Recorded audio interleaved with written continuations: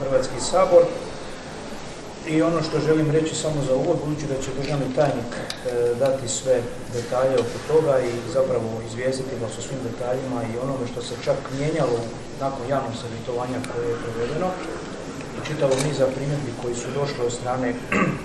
poduzetnika i naravno javnosti koji su zapravo prihvaćeni u većem dijelu idu u favorem gospodarstvu, da ovaj zakon nije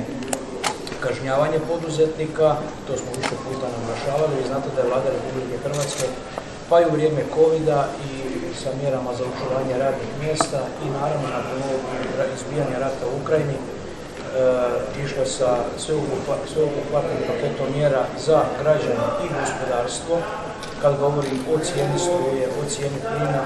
naravno toplinske energije. U tom smislu ovaj zakon je e, solidarni doprinos svih svih onih koji su zapravo u ovim, ajmo reći, trenucima kada je, e, kada je izbilo ova, e, kada je izbilo ovaj rat u Ukrajini, imali dobru dobit, dobro su poslovali i oni će zapravo solidarno pomoći svim onima socijalno najugroženijima, budući da ćemo sva sredstva koje uberemo od tog zakona usmjeriti upravo prema socijalno najpotrebitijima. Vi znate da su mjere još na snazi, da će one u prvom kvartalu sljedeće godine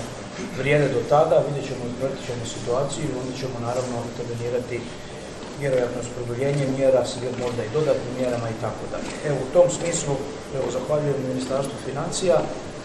ovaj zakon je dobio i političku usaglasio se na razini koalicije svih stranaka vladajuće većine. Očekujem da će Hrvatskom saboru dobiti potporu naravno i drugih zastupnika koji ne čine koji ne čine vladajuću većinu. Evo zamolit ću gospodina Trinušića da vam detaljno obrazloži sve detalje oko toga zakona, ako bude kakve pitanje stoji. Pa ne, vodili smo računa o tome da on bude horizontalan, da ne, bude usmjeren samo naravno na jednu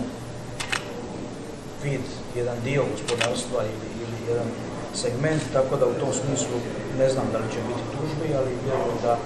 je on evo moram da usaglaša na razini koalicije i očekujem da bi mogao pasti u Hvala vam lijepo.